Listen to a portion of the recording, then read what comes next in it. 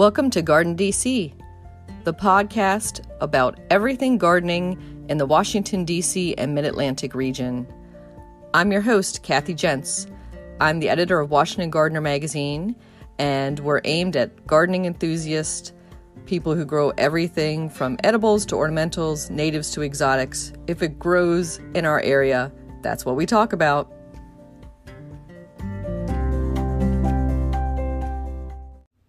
Welcome to episode 153 of the Garden DC podcast. In this episode, returning guest Barbara Melera, president of Harvesting History, shares the story of the Constitutional Convention and how a garden visit helped found a new nation. The plant profile is on butterfly weed, and we share what's going on in the garden as well as some upcoming local gardening events in the What's New segment. We close out with your host, myself, Kathy Jentz, who gives the last word on whether gardening is only for the rich. This episode of Garden DC, we're joined by returning guest Barbara Melera. She is co founder and president of Harvesting History, and we're happy to have you back again with us, Barbara. Thank you, Kathy. I'm happy to be back, and I am delighted to be able to share this story with all of your podcast listeners. It is my favorite all time horticultural historical story. Mm, we are in for a treat. I can't wait to hear that. Yeah, yes, you are. it's such great timing, too, because I was going to say we're coming up on our um, Independence Day holiday in a few weeks. And I didn't know until I looked at the calendar the other day and figured out that we are very close to our 150th of the country itself. We're just a, a few years away from that point. Congratulations. Yes, we are. and I'm looking forward to our 100. Well, actually, isn't it our 200 and Oh, 250th. You're right. I'm totally off on my math. So uh, I was going to ask you if you remember the bicentennial from that was what 47 years ago. Oh, you bet I do.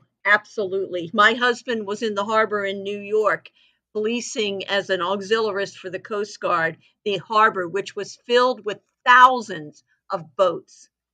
Everybody there, a patriot and wanting to celebrate the birth of this nation. It's, mm. He has a photo of it, and it's an awe inspiring photo. And that was in Boston? No, that was in New York Harbor. Oh, New York Harbor, sorry. Yeah, and so I remember as a little, I guess, elementary schooler going down to the National Mall for the bicentennial for the fireworks and having to trudge with my, uh, I guess, pillow and blanket in my hand. Uh, we must have walked a few miles from where we had to park to get us to get down there. You bet. You bet. It was quite a day, quite a week, quite an event. Well executed ah. and very memorable. Yeah, I, I, that is a day blazed in my memory, and I think that the 250th will probably be similar. I certainly hope so. And so we had you way back on episode 45. We were talking about seed starting tips. We also talked about the rumored seed industry seed shortage because that was back in February 2021 um, in the midst of the COVID pandemic, and people were freaking out about not getting seeds or the seed orders were delayed. Um, so we had covered all that then, and that's uh, a little bit over two years ago. So I wanted to ask um, what has been happening in your business in the meantime? Well, a lot of the seed shortages, I think, have been mitigated. Um, I think there are things that will forever be in short supply because they're being grown by independents, and so the quantities are uh, very small. But in general, the things that most people grow on an annual basis, I think, are available now. Good to hear. Yeah, it seems like the supply chain delays in not just the seed industry, but every other industry seem to have uh, opened back up now. Yep, you're right. Yeah, I can see this the store shelves are much better stocked. You know, from the grocery store to our local garden centers, it's it's much more full looking and that's always good to see. It sure is. It's comforting and lessens the stress enormously. Mm-hmm. And I know you do a lot of uh, garden shows, home and garden shows, out- outside gardening festivals. Um, do you have any planned for this summer that readers or listeners can find you at? Not this summer. Um, we'll finish our last show, which will be the the Newport Flower Show, which will start on Friday of this week and go through Sunday. And then after that, we work on um, garlic and fall blooming bulbs and then the fall planting bulbs until we start again at the Nashville Antiques and Garden Show in January. Hmm. And so, if people are getting orders into you, they can still order last minute summer seeds, right? But what do you want them to focus on? Well, we always have a quantity of the, um, let's say, enduring seeds. We, we always carry seeds. We don't clear our decks and um, say wait until next year. But the things that they should be thinking about, and, and there are, are two different things. First of all, I encourage people to think about the fall blooming, not planting, fall blooming bulbs, and they should start ordering them now. They're available to order in June, July, and August. You plant them when you receive them in August. They will bloom end of September, early October, and they literally are nothing you've ever seen or experienced in the fall garden. It's worth every gardener's little bit of effort to plant some of those fall blooming bulbs. And they're crocuses, you know this, Kathy, they're mm-hmm. crocuses and they're colchicums uh, that actually adorn the fall garden like nothing else, including chrysanthemums. There's nothing like these you can only order them in June, July, and August because their shelf lives are very, very short, usually two to two and a half weeks. So most garden centers do not carry them. You pretty much have to order them online. And then, as far as seeds, you want to think about starting beets, uh, lettuce. You want to start fall peas. Um, a lot of the root vegetables like turnips, as well as I just mentioned beets and even uh, mid July, maybe some broccoli for the uh, fall garden. All those seeds can be planted sometime in July or August, and um, they'll yield you a mid to late fall crop. Very nice crop. Yeah, that's a great point because in the heat of the summer, none of us are thinking about planting bulbs in August right. to have our beautiful fall garden. But I am in love with especially the Sternbergia, um, the yellow, tall, thin crocus looking thing that, that's called the fall daffodil, but no relation at all to daffodils. But that's one of my favorites. And have you grown water lily crocus? Yes, that's so gorgeous. And um I was gonna say not inexpensive. It's a it's a large bulb, you know, almost as large as an amaryllis bulb. Right, right, very, very true. But um, usually, from a single bulb in the first year, you get two to three flower spikes.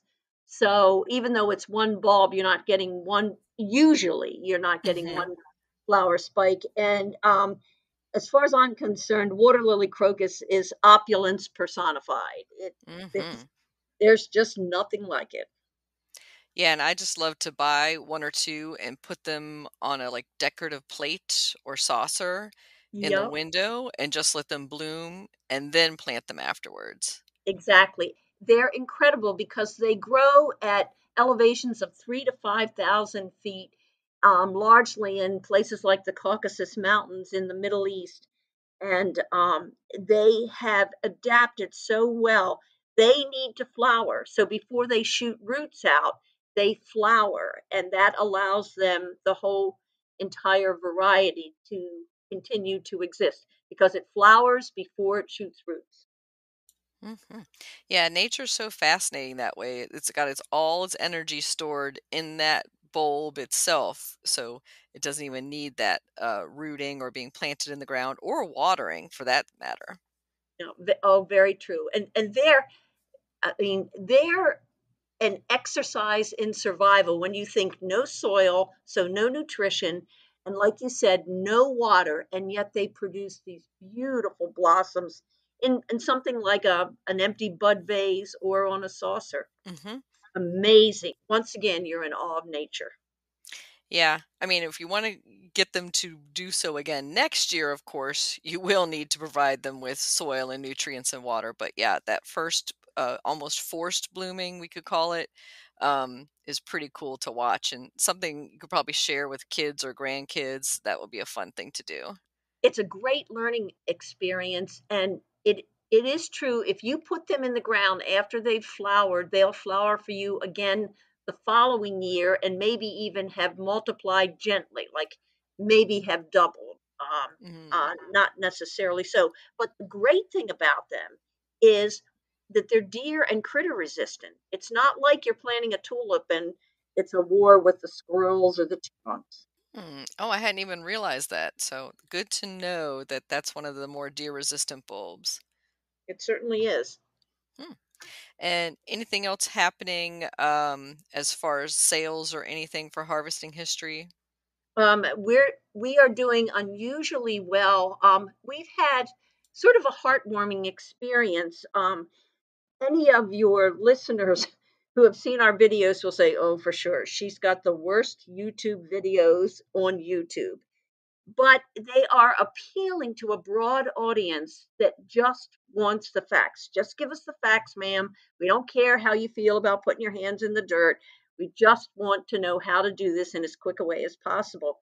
And so, not just all over this country, but frankly, all over the world, we have been getting comments and responses that please give us more videos. And we've been getting a large part of our business from these YouTube videos. So, for all of us that are working on these videos, and they are the worst videos on YouTube, um, it's it's been very gratifying to see that there are people out there that really want to learn how to be gardeners. They don't have this information or they don't have access to the instructions that would teach them with all their questions.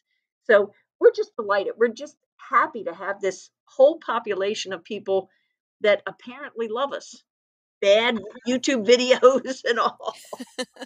yeah, there's something to be said with unpolished, you know, just raw information that it doesn't have to be pretty, it just has to be full of wisdom. Right. That's exactly right. well, that's great to hear.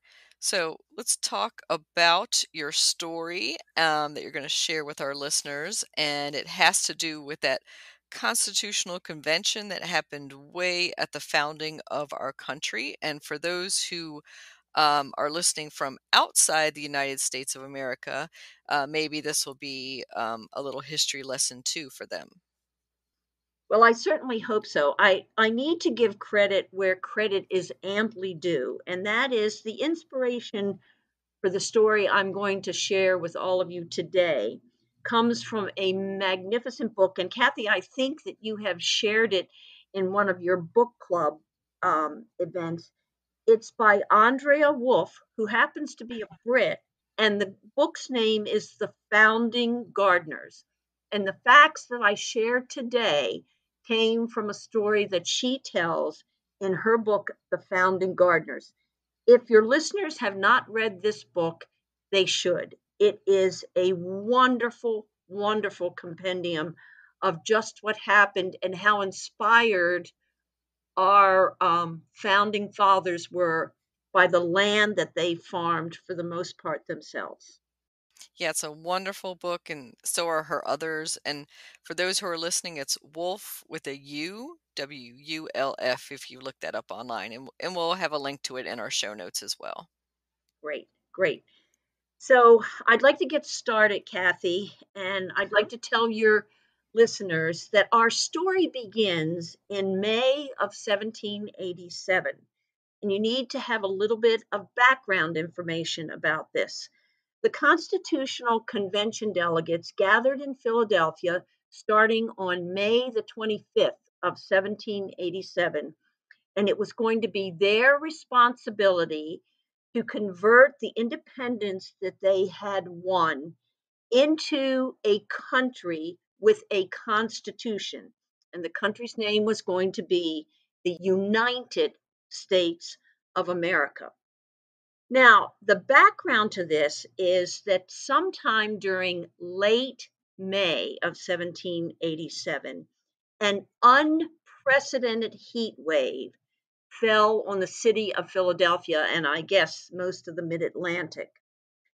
These delegates were locked in a hall, and because they were fearful of spies, all the windows were shut. The men were wearing layers of cotton, linen, and wool, plus, they all had wigs on. And during the course of these contentious discussions, some were nearly overcome with the heat. Now, in attendance, there were 55 delegates. The oldest was 81, and that was Benjamin Franklin. And the youngest was 26, but I don't know who that individual was. Of the 13 colonies, 12 were in attendance. Please note that Rhode Island had boycotted the Constitutional Convention. Hmm. So they had been at this for just about five weeks by the end of June. And the delegates, with fierce arguing, sometimes unpleasant words, we would be more graphic, but I'm not going to be in the course of this story. Those delegates had been able to agree on only one point. Your listeners, Kathy, all these 55 delegates had only been able to agree on one point after five weeks. Sound mm. familiar? oh, yeah. Sounds very familiar to those inside the Beltway. Well, the government of the United States of America that they had agreed should have three branches. This was the point they all agreed upon. It should have an executive, a legislative, and a judicial branch. Now, the source of the contention, and it was mighty, the contention, was power. So, what's new? It was power. The large states wanted power to be determined by population. The small states wanted each state to have equal power through one state, one vote. The fear by the small states, and it was a genuine and legitimate fear, was that in, in cases of decision making, the large states could always rule because if everything was done by population, the small states would never be able to grow to overcome the population issue. So this was a contention, and no one had been able to see any way to compromise on this. So on Thursday, July the 5th, and for your listeners, Kathy, this is a little bit of a complicated story, so I need for all of you to be with me. We're at Thursday, July the 5th, 1787. The Connecticut Plan was introduced as a compromise the Connecticut plan said okay, the legislative branch will have two houses, not one. It will have a House of Representatives where distribution of power would be apportioned by population, which means in the House of Representatives, the large states would have significant control because population in the House of Representatives would be the source of power. A Senate in the second house would be created where each state would have two votes. So the Senate worked in the favor of the small states. In this case, each state would have two votes, regardless of the number of people that the state held within its boundaries and represented. So the House of Representatives, the distribution of power would be apportioned by population, thus favoring the large states, and a Senate where each state would have two votes, and that favored the small states. That was the compromise. Well, we're at July the 5th now. The group agreed to argue the merits of the plan from July the 9th, which was a Monday, through July 13th, which was a Friday. And then they would gather on Monday, July the 16th, to vote. So think about this. They're going to argue in the heat, and this heat wave had not broken, in the heat of this horrendous heat wave for the five days of the week of July the 9th. And then they were going to vote on Monday, July the 16th. Hmm. Well, as it turns out, many of the delegates were staying at the same boarding house in Philadelphia. And at dinner, they had all gathered on Friday 13th. And one of the delegates said he was going to go to Bartram's garden tomorrow morning. And would anyone like to join him? Well, it turns out that a number of the delegates, I think it was, I believe it was 12 in total, said yes, they would like to go. It would be nice to get out of the city. And even though the heat wave was still prevailing, it, it would be nice to feel the breeze. Let me tell you a little bit about Bartram's Garden. Bartram's Garden had been founded by John Bartram, the father. He had at one time been the royal botanist to the King of England. But his passion was in understanding and promoting the flora of the United States. And he had a pretty active business. He actually created the first seed catalog in 1781. And with that seed catalog, he had been become fairly well known throughout the British Isles and also throughout Europe. He had two sons, William and John, and together they would go on collecting trips throughout the entire area that was the colonies of the United States. They collected plants and trees and shrubs from all 13 colonies and they grew them in their garden, their extensive garden in Philadelphia. Well, they did have a garden that represented the plant life of all 13 colonies. And John had created a garden that sat on the banks of, I believe it was the Schuylkill River. And in that garden, he had an upper garden where he had three rectangles one with vegetables, one with newly started plants, and one with flowers, all from the 13 colonies. And then below that, he had created paths that meandered along the banks of the river that passed by ponds that he had created, and all of the trees and shrubs in that sort of forest environment that he created were from the 13 colonies. The garden had become famous, and these delegates decided that they wanted to go and visit it. So, and I want all of you to laugh a hearty laugh at this because, like most politicians, totally oblivious to what the world was real was really going on, they set out from Philadelphia and arrived at Bartram's Garden at 6 a.m. in the morning of July the 14th. Okay. Thankfully, the Bartrams were used to, shall we call them, eccentric behaviors from famous personalities. And what and it was actually um, William Bartram that was in the gardens doing some gardening work when the carriages pulled up in front of his house. He left his duties and he went to greet them, and they told him that they were there to visit in his garden. And he proceeded for the next couple of hours to take them on a trip through the flowers and fruits and vegetables and trees and shrubs of all 13 colonies.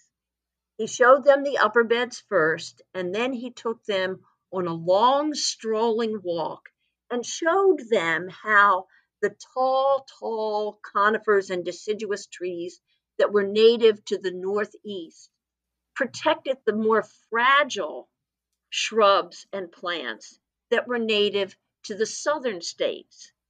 And he showed them how those shrubs and plants from the southern states protected the roots and bark of those northern conifers and tall, tall deciduous trees. Hmm. he kept emphasizing to them over and over again that most of the plants that they had in this garden in Philadelphia could not survive except through the cooperation and support of their neighbors. So the northern trees couldn't survive without the southern shrubs, and the southern shrubs could not survive without the northern trees. And he, over the course of almost six hours, spent time with them, showing them what they had. And just as an aside, Kathy, there is a yellowwood tree in Bartram's garden. It's the oldest plant in the garden today. This yellowwood was a sapling that our founding fathers saw when they visited Bartram's garden. If you ever have the opportunity to go to Bartram's garden, take a long look at that yellowwood tree because our founding fathers saw that tree as a sapling. Oh, and I've forgotten an important, important point. On the evening of July the 13th and the morning of July the 14th, the heat wave broke. Let, let me say that again because this is an enormous factor, I think. The heat wave broke and broke suddenly and broke completely. So when these gentlemen traveled in the carriages out to Bartram's garden, they were refreshed and the stress was eased in their minds and their bodies because they no longer were struggling with the, the tremendous heat. The mm-hmm. cool breezes that were dew laden, were dew laden, was what they were feeling. So let's fast forward to Monday, May the 16th. And in that still fairly warm room in uh, Philadelphia, most of the delegates assembled. They were expected to vote, they were expected to stand when their state was called, give their name, and then vote aye in favor or no against. So, of the 13 colonies, we already know 12 were supposed to be present that Rhode Island had boycotted. So, that's where we got the 12. But then in the ensuing weeks before this vote, New Hampshire hadn't arrived yet. So there was no vote from New Hampshire. And in New York, only Alexander Hamilton had arrived. And the other two delegates from New York, because they were not there, New York had no quorum, and so New York couldn't vote. So here's here was the lay of the land. They needed either to pass or to defeat. They needed six votes. They needed a simple majority of six votes out of 10 colonies slash states that were in attendance. So what happened? Well, they began the voting with Massachusetts. And I need to step back for a second and tell your listeners, Kathy, the three names they need to remember are Caleb Strong from Massachusetts. He was on the trip to Bartram's Garden. Then Hugh Williamson and Alexander Martin, both delegates, the two delegates from North Carolina, were also on the trip to Bartram's Garden. All three of these delegates were from large states that voted together as a block and had never, let me repeat, never voted out of the block. They were large state delegates and they voted with the large states. So they began the first state that was called, the first colony was Massachusetts. Massachusetts had four votes. Two of the delegates got up and voted no. The third delegate got up and voted aye. And then Caleb Strong got up. He voted aye. So you had two delegates voting no with the large states and two delegates voting aye with the small states to pass the Connecticut Compromise. Because the vote was split, Massachusetts' vote did not count. We're now down to nine. We need five votes in order to pass or to defeat the Connecticut Compromise. Mm-hmm. So, what happens next is that they keep calling the various states slash colonies, and the seventh state is called, and that's Virginia. Probably at that time, at that moment in history, the lead large state. Virginia got up, and as had been expected by all, Virginia voted no to defeat the compromise. By the time Virginia voted, all the small states had voted, and they were four in number. So you had four that voted aye, four states, and you had three already that had voted no to defeat it. Well, at that point, you had only three states left and those states were North Carolina, South Carolina, and Georgia. North Carolina was kept, was called next.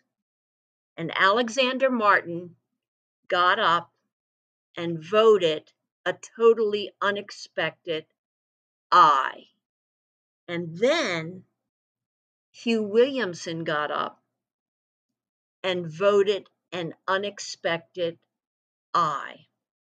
Now, what Andrea Wulf says in her book, at that moment, a cloud of silence must have floated across that room as all of the 55 delegates realized that the totally unexpected Connecticut plan had passed that the United States of America was going to be a nation because a simple compromise, the power of it and the significance of it had been realized by a group of well meaning men who loved their nation or what was to be their nation more than their individual states or their their individual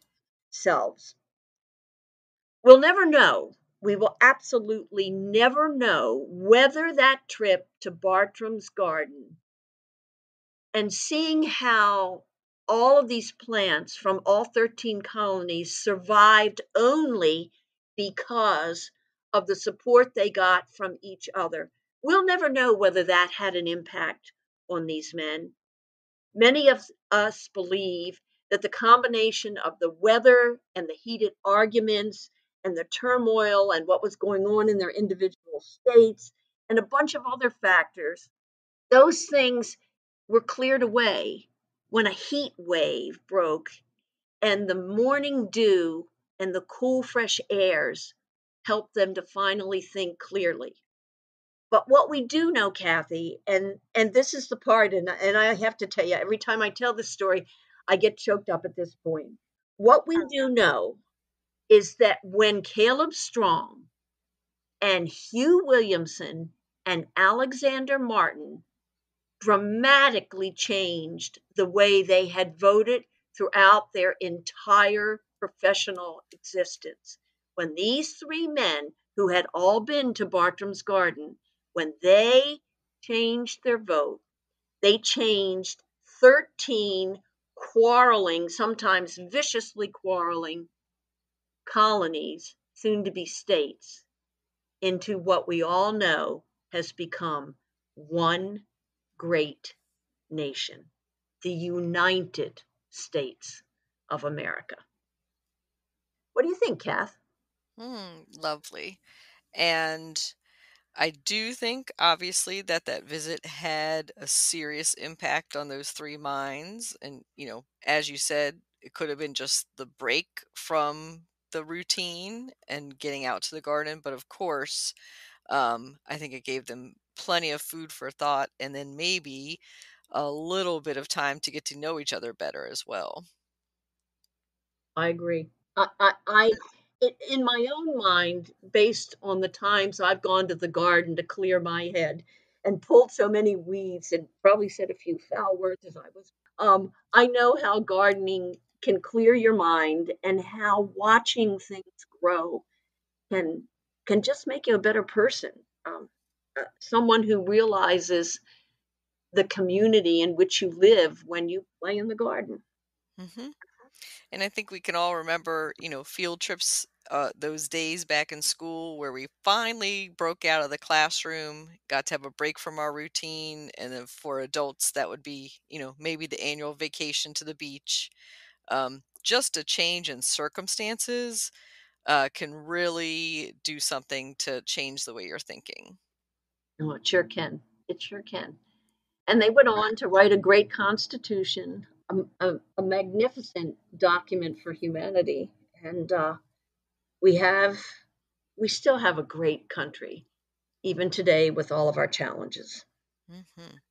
And I did have the privilege last summer of visiting Bartram's Garden myself, finally, after years of trying to every visit up to Philadelphia, trying to get over there. Um, it's not the easiest place to access these days as far as um, getting there from the center city, um, especially if you're going by transit or something else like that. But it is free and open to the public. Um, it is uh, centered, you know, right there on the river and just a gentle slope down to it. Um, so that's a surprising location to me how close it was to the water. Yeah, it, it, it was to me too. What one thing that your listeners should know, it's just a little piece of trivia.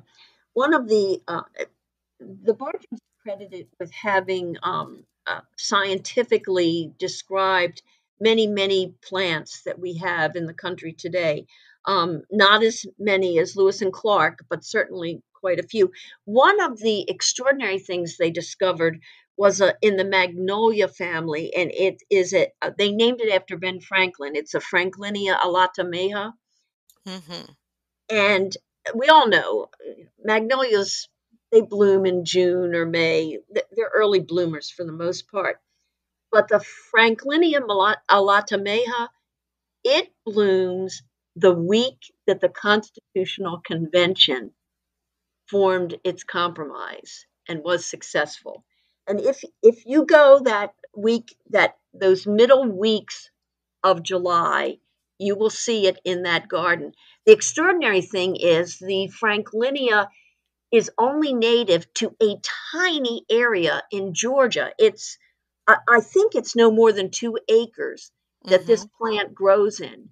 And and to think that that every year at the time that the Constitutional Convention uh, compromise was met, that that plant marks that significant event by blooming. Hmm. I'm always been envious, Barbara, of uh, when I see a Franklinia in a private garden. I've seen it in several public gardens. Um, it's very similar in look to a Stewartia yes. or a miniature white magnolia if people can picture that in their head, maybe like a little dogwood tree that has small magnolia type blossoms is pretty much the size of the tree and the extent of the blooms. But yeah, it's no longer um, in the wild. It's it's only a cultivated plant, and it's known to be a very um, fickle plant. We'll call it uh, in the garden. So if you can get one, obtain one, and keep it alive, you're you're ahead of the game. And and I would suggest that you're best trying to find the Franklinias in the Philadelphia area. Um, I, I don't know if um, some things that are offered may appear to be Franklinias and possibly aren't. But I would I would feel very comfortable um, if you were looking for one to look in the Philadelphia area. What do you think about that, Kath? Hmm Yeah, I would say Mid Atlantic and Philadelphia area uh, nurseries um, tree nurseries in particular and specialists uh, would probably be the the ones to go for, and then visit some um, at some of the local public gardens there, um, so you can see one in its growth habit and what it looks like and what you're looking for. And it does have a little bit of a scent to the bloom as well, which is always nice. And I'm going to say something a little cheeky, Barbara. Okay. And this is about our founding fathers. So, you know, you can't, they didn't have potable water, you know, unless you boiled it and drank it that way. And most of them were drinking, you know, a glass of hard cider to start the day. And I can imagine in the heat, you're drinking more than a little, right? You absolutely were. I'll bet you they were drunk three sheets to the wind that night they agreed to go out. Yeah. So that's why I always think of that they they always had like a low level buzz all the time. and probably a little bit more than that when it was very hot out. And with no air conditioning, imagine that. And um again, didn't have bottles of water or water uh, fountain there. You're just drinking what's available and they couldn't take those wigs off. You know, they had to keep the wigs on. I'm sure they took those overcoats off, but even even with that, they uh, and and when you think by the time they got to vote on the 16th of July, that heat wave had been going for eight weeks. Mm. Yeah, I don't envy them, and I'm glad they got it done, and I'm sure they're glad to have gone back to their uh, respective states after that uh, to cool off. And in our last few minutes together, Barbara, um, I wanted to turn the subject back to you and harvesting history and ask how listeners could get in touch with you um, and to learn more. If they need to, if they actually want to talk to a human being, and we we encourage that at Harvesting History, uh, you can always get us at the, the number is 410 627 6831. The website is harvesting history.com. And the number to call if you've got questions or you need to discuss something is 410 627 6831. And we'll be happy to help you. We have decided as a strategy that we aren't interested in growing into a giant company. We have had so much pleasure in being a small company that has gotten to know our customers on a one to one basis. And that's part of the reward we've gained from having harvesting history. Um, I I laugh and it's with glee at the customer communications we get. We sell a lot of citrus trees, for example. I have baby pictures from more lemons and more limes than you can ever imagine with, the, with the comment, my first lemon, my first lime. we love that. Yeah, that must be so rewarding. And I was going to ask you, and I don't think we talked about it the first time we had you on the podcast, but why did you call your company Harvesting History? Well, uh, it's actually not a name that we thought up. We had um, a very dear man who was very interested in the work that we were doing. And one day he called and he said, I have this great idea. I don't know whether you'd be interested. What if you called your company Harvesting History and you had a tagline that said, Seeding the Future? And I knew then that was perfect. That's that's what we do. We harvest what we know about the history of horticulture and agriculture, and we use that information to seed the future of what we hope are many, many gardeners. Excellent. And I know that your website has many of those stories related to the seeds and plants. And I thank you for sharing uh, one of your favorite gardening stories with us on this episode and hope to have you back again, Barbara. I'd love to come back again, but most of all, I thank you, Kathy, for allowing me to share this story. It's one that I think every American should know. Want to make a podcast? Spotify's got a platform that lets you make one super easily, then distribute it everywhere and even earn money, all in one place for free. It's called Spotify for Podcasters, and here's how it works. Spotify for Podcasters lets you record and edit podcasts right from your phone or computer. So, no matter what your setup is like, you can start creating today. Then you can distribute your podcast to Spotify and everywhere else podcasts are heard. Video podcasts are also available on Spotify.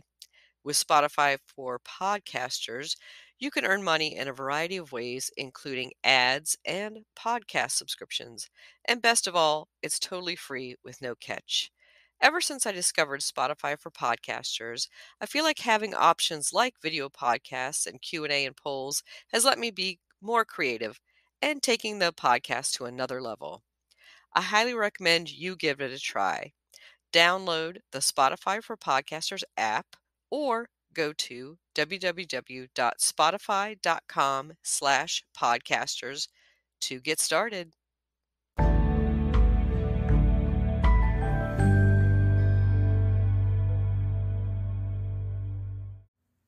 Butterfly weed, plant profile.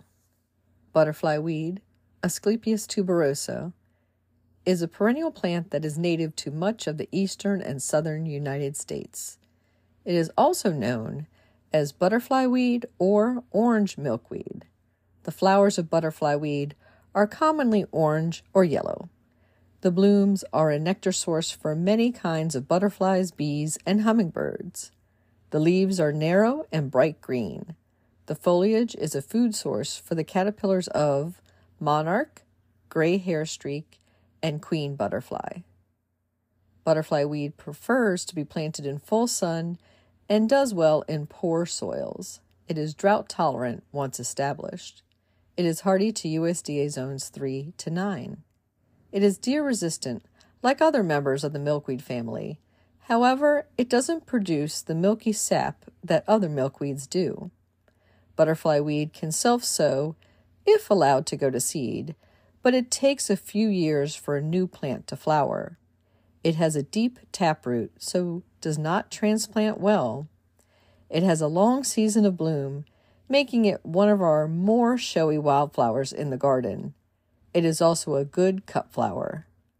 Butterfly weed, you can grow that.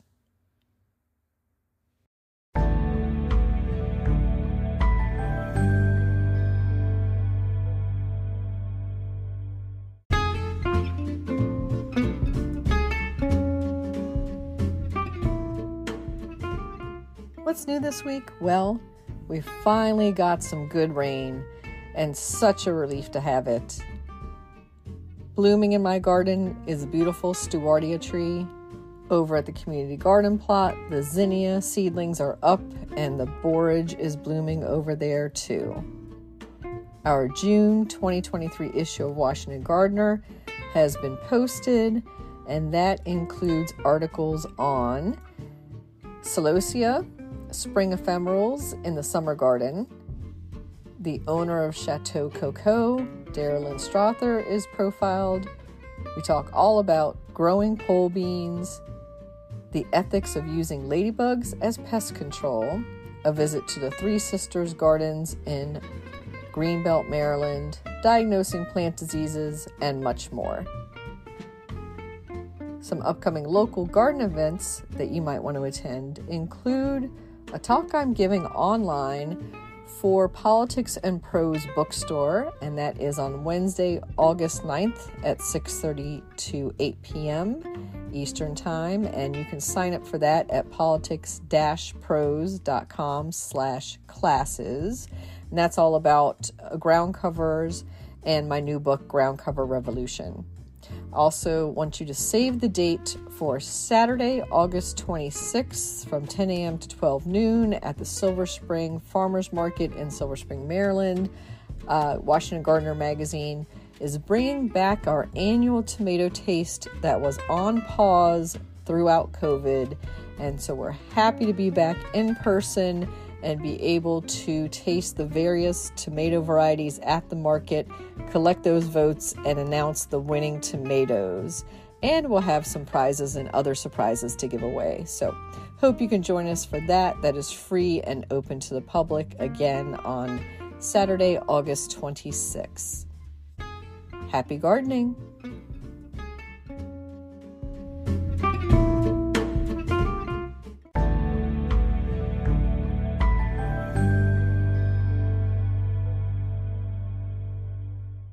In the new book, The Urban Garden by Kathy Jensen Teri Speight, you'll find dozens of inspiring and creative ways to grow flowers, shrubs, vegetables, herbs, and other plants in small spaces and with a limited budget. Whether you want to grow on a balcony, rooftop, front stoop, or a tiny urban patio, turn your growing dreams into reality and build a gorgeous and unique garden that showcases your personal style while still being functional and productive. With the ingenious ideas and resourceful tactics found here, you'll be maximizing yields and beauty from every square inch of your space while also making a lush outdoor living area you'll crave spending time in. Whether you're growing edible plants or beautiful flowers, the 101 amazing growing ideas found in the urban garden will turn your tiny urban yard into a treasure trove of green you'll be proud to share with family and friends. Buy your copy today at your local retail bookseller or order it online now at Amazon.com or bookshop.org.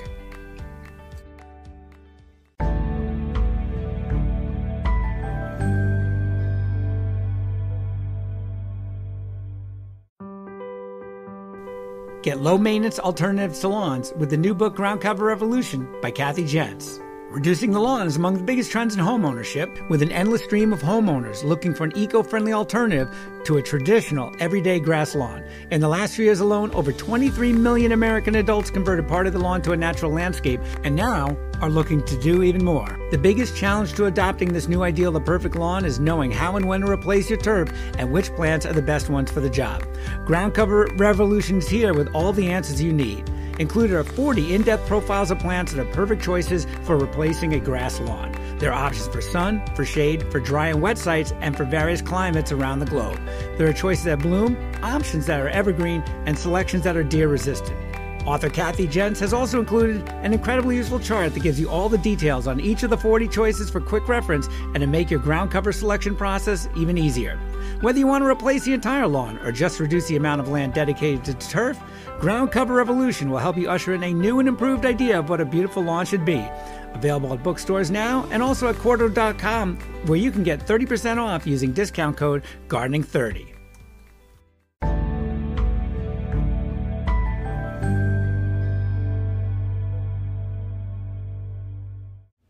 This is Kathy Jentz, editor of Washington Gardener magazine and host of the Garden DC podcast. I'm sharing my last word on Is gardening only for the rich?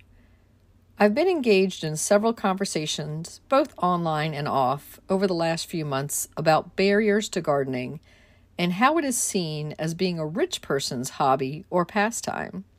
This came as quite a shock to me because for years I have felt the undercurrent of judgment that comes from gardening as something that was looked down on as somehow lower class and a task you hired others to do. So, which is it? Well, it's neither. Yes, it's a privilege to have access to your own land and the free time to nurture plants in it, but it is certainly not something out of reach of even those at the lowest rungs of the economic scale. In the recent book, The Urban Garden, which I co wrote with Teri Speight, we take great pains to describe how gardening is accessible to all income levels, ages, classes, and ethnic groups. We describe how growing spaces can be carved out of even the tiniest city lot, balcony, or rooftop. The land you garden on need not be your own. It can be rented or bartered for. It can be a public garden where you volunteer. It can be at a school or workspace. Like any hobby, gardening can get pricey if you let it. You can certainly rack up credit card debt buying the latest rare houseplant or fancy gadgets, but you don't need those. You can garden with just a trowel, cloth gloves, and a pack of seeds from the dollar store. My personal take is that gardening is a wide world of types and levels of investment and interest, from the DIY hands in the dirt folks to those with point and have plant staff and designer budgets. I'm not going to judge others and hope that others reserve their judgment as well. And that's the last word on Is Gardening Only for the Rich by Kathy Jentz.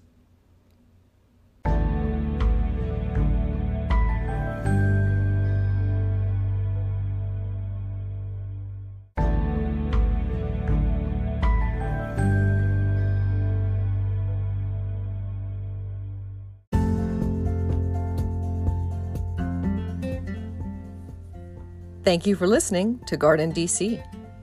You can become a listener supporter for as little as 99 cents a month by going to anchor.fm slash gardendc slash support. Another way to support this podcast is to subscribe to our monthly digital publication, Washington Gardener Magazine. To do so, go to washingtongardener.com. Thank you.